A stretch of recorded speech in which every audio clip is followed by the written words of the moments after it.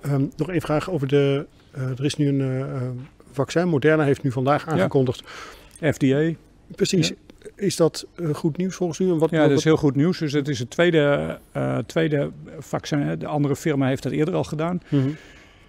Eh, dik een week geleden. Dat betekent dat er nu alleen al in de Verenigde Staten voor goedkeuring twee vaccins liggen. Allebei Mhm. wel gebaseerd op hetzelfde principe Mhm. ook. Eh, met allebei een eh, geclaimde effectiviteit, een beschermend effect van eh 90% of daarboven. Mhm. Even voor dat Moderna-vaccin alleen. Hè. Dat waren twee groepen van elk 15.000 mensen die gevaccineerd zijn. Mhm. Eén met het vaccin en de ander met placebo. Eh, in die, in die placebo-arm waren er onder de 15.000 mensen, als ik het uit mijn hoofd zeg, ongeveer 180 besmette mensen. Mhm. En in de vaccinarm waren dat er maar 11, Ja. die bovendien ook minder ziek werden. Dat Ja. verschil is heel groot.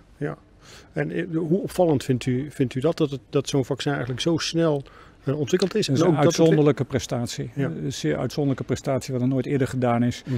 Ehm, en ook de resultaten zijn uitzonderlijk. Mhm. Eh, en, en tegelijkertijd eh, is het, er zijn veel mensen die zeggen het is te snel gegaan.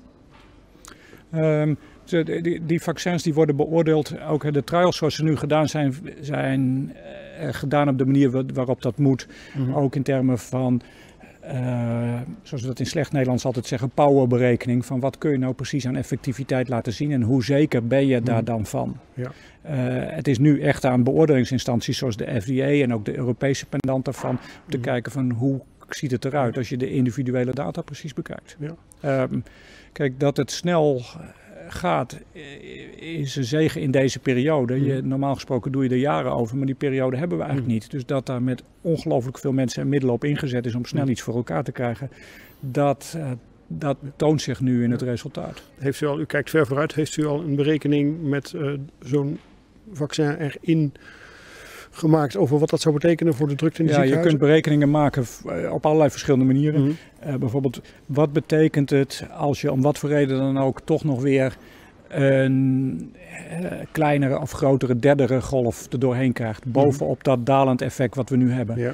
Wat betekent het als, ondanks alle maatregelen die we nu hebben, ook een grieperiode stevig zou Mhm. zijn? Eh, het zal duidelijk zijn dat bij de huidige bezetting dat iedere stijging die je daar bovenop hebt weer Mhm. leidt tot een extra verdrukking van reguliere zorg. Ja.